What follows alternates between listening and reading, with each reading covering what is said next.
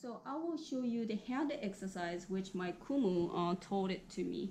And um, this is bit tough, but your thumb touches to your middle finger's bottom. And it goes to a tip. And then switch to the index finger. Come back. That's it. So attach to the middle finger's bottom goes to the tip switch to the index finger come back. That's it. So with this you would like to do with the relaxed hands and then in this time your thumb is touching your middle finger's bottom and then it goes up your hands come up and it goes to this shape. And then switch to an index finger and then go flat. One more time. Relax.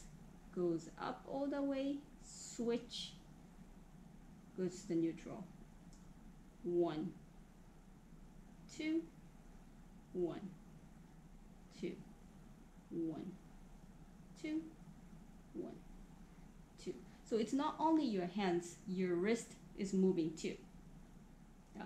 And then your elbow is always um, locked completely so one two one two one two and then your finger is the whole family members of yours so family members always need to be together like this yeah so do not separate like this. Yeah, it's always together. One.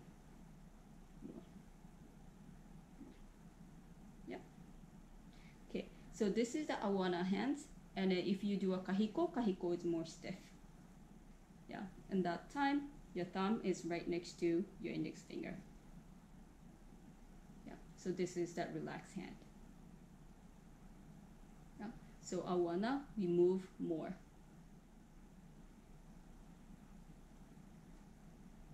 Okay, and um, as you exercise it like every day tries to make it beautiful.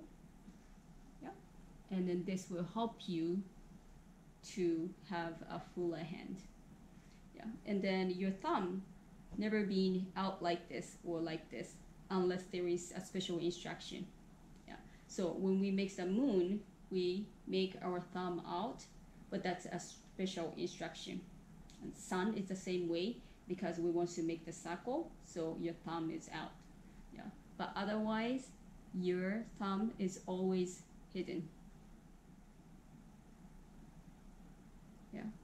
And then your hand doesn't go this way. It's always move straight line not like moving this way. Yeah so it's always straight line